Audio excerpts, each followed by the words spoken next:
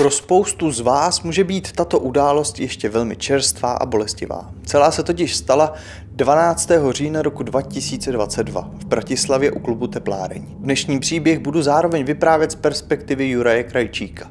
Nedělám to proto, abych vyzdvihoval jeho činy. Dělám to proto, protože jsem si všiml, že si spousta lidí nepřipouští, že by se něco takového mohlo dít v naší nebo Slovenské republice. Dělám to proto, abyste také viděli do zákulisí lidí, jako byl právě Juraj abyste nahlédli do zákulisí a viděli, co se v něm děje každý den. Případ je stále ještě otevřený, proto kredibilitu informací neberte jako stoprocentní.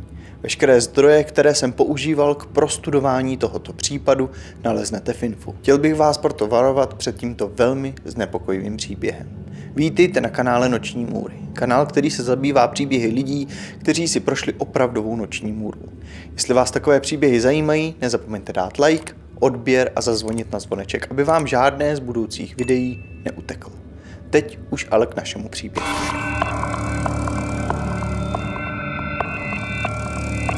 Juraj Krajčík navštěvoval školu pro mimořádně nadané, ve které měl ale problémy s tím, že ho šikanovali. Po konzultaci doma se všichni rozhodli, včetně Juraje, že by pro něj bylo lepší, kdyby přestoupil na gymnázium pro mimořádně nadané. A tak se i stalo. Když nastoupil na gymnázium v Bratislavě, tak jedna z prvních věcí, které ředitelka udělala, bylo, že poslala Juraje k jejich školnímu psychologovi, který se mu věnoval s pravidelností dva roky. Pak ale nastala epidemie a domácí výuka, kvůli které Juraj psychologa přestal navštěvovat. Juraj byl v průběhu těchto let dost zodpovědný student, který měl dobrý prospěch. Zkrátka to nebyl kluk, do kterého byste na první pohled řekli, že se v něm ukrývá tolik zla. Léta v sobě budoval myšlenky nenávisti, zloby, přesvědčoval se každý den o tom, že svět, který je takový, jaký ho známe, míří k záhubě. To, na co Juraj totiž myslel, to, co plánoval za zavřenými dveřmi, za počítačem, za kterým trávil tisíce, tisíce a tisíce hodin, bylo něco, o čem si spousta z nás myslela, že už se snad nemůže stát. Juraj totiž, když skončila distanční výuka, tak seděl dál u počítače a chodil na anonymní servery, jako je například 4chan, kde není tak náročné najít komunitu lidí, pro kterou by mohl sdílet své myšlení. Přesvědčoval sebe a lidi na internetu o tom, jak se cítí ukřivděný kvůli situaci, ve které žije. Přesvědčoval se denně o své neobyčejné výjimečnosti, díky které alespoň trochu napraví tento svět. Neustále si říkal, že jestli on něco neudělá, tak už nikdo. Co si totiž Juraj myslel, bylo něco nepředstavitelného pro obyčejného člověka. Nabyl přesvědčení, že na tento svět patří pouze lidé bílé pleti. Že prakticky za všechny problémy světa mohou židé a že homosexuálové jsou jejich výrobkem. Díky těmto názorům a přesvědčením vznikla jeho ideologie. Ideologie, ve které krom lidí jeho druhu nemá nikdo jiný právo na to být na tomto světě.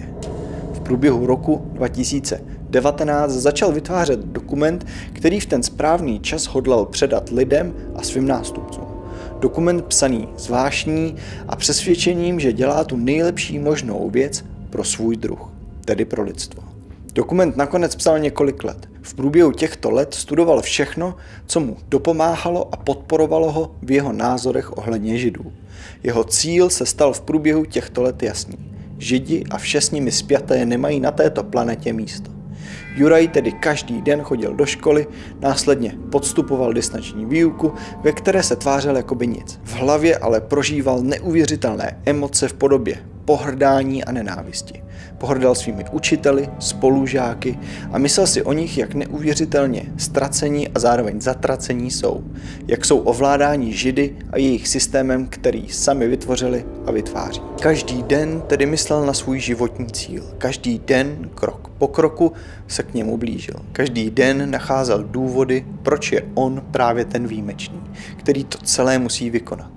V průběhu karantén a izolací si našel slovenského kamaráda, žijícího v Čechách, který patřil do stejné komunity lidí pravicových extrémistů.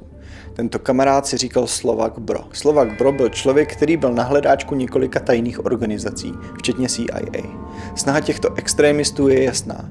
Má akcelerovat vývoj společnosti k chaosu a takzvané rasové očistě. Tohle všechno byla hlavní Jurajova motivace. Měl zkrátka pocit, že dělá něco pro lidstvo, že on je jeden z těch hrdinů, který má naše lidstvo zachránit před záhubou.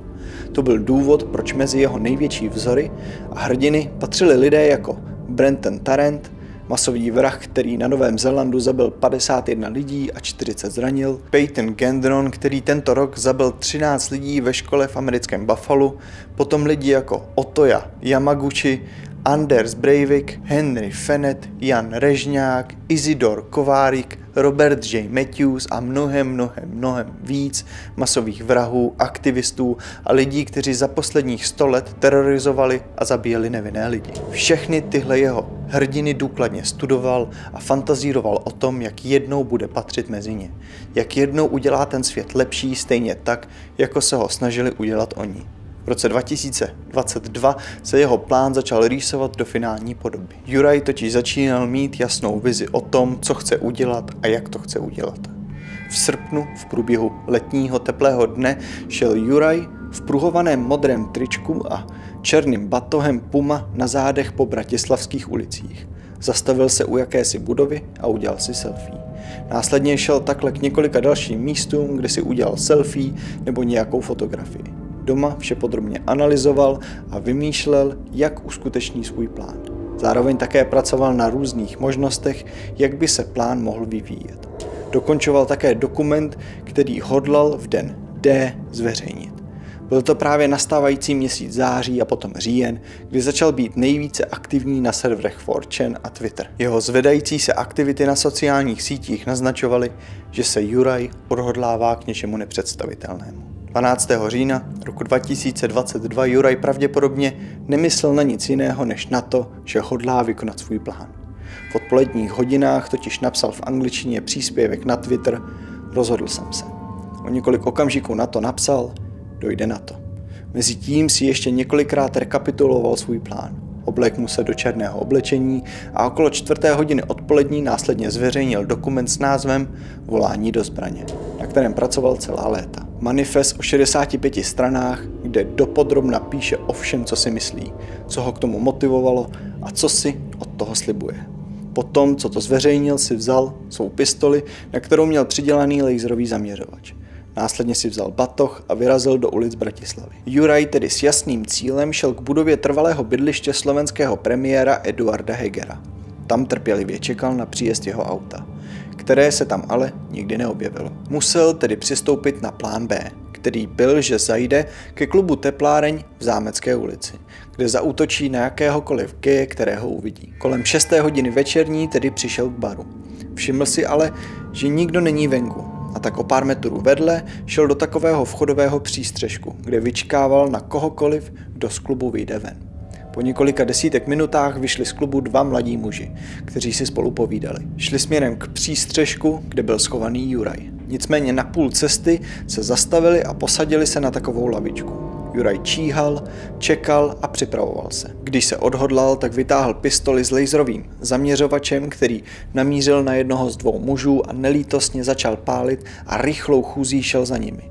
Oba muži začali utíkat, nicméně byli bez šance. Útočník totiž pálil přesně. Po pár metrech oba muži padli. Když mu došli v zásobníku náboje, tak se vrátil na místo, kde se původně schoval a vyměnil si zásobník. Potom se vrátil a několikrát ještě vystřelil. Krom dvou mužů se tam ještě objevila jedna žena, kterou Juraj trefil do nohy. Následně, když viděl, že jsou všichni na zemi, se otočil a utíkal pryč z místa činu. Jurajovi se povedlo, aniž by si ho kdokoliv všimnul utéct.